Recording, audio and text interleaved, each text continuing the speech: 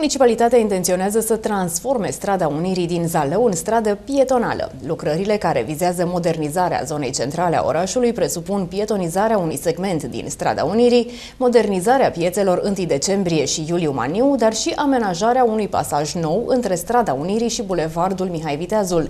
Costul total al lucrărilor se apropie de 15 milioane de lei.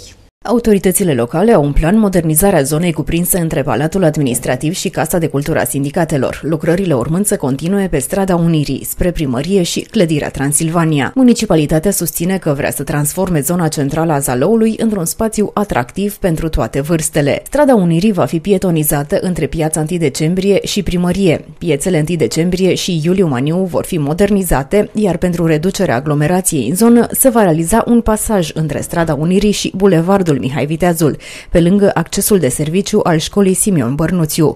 Va fi modernizat de asemenea pasajul existent, care face acum legătura între bulevard și strada Unirii. Pavajul va fi refăcut, iar pasajul va fi acoperit cu vele solare.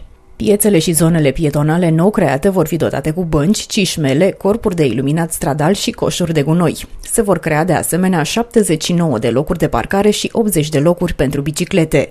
Deocamdată, consilierii locale au votat în ședința din 29 noiembrie documentația tehnico-economică a proiectului, aflat în faza studiului de fezabilitate. Valoarea totală a investiției este de aproximativ 15 milioane de lei, din care aproape 13 milioane sunt costuri pentru construcții și montaj.